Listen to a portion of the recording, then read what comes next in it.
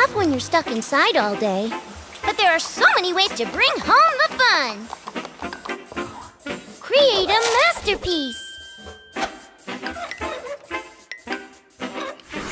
Practice yoga. Uh, a little help, please. Check in on a loved one. Yummy! My day was really exciting. Well, you were there of course, and we did some yoga, and you combed out my mane. I wonder what happened to that brush. We did backflips, and then we did another backflip.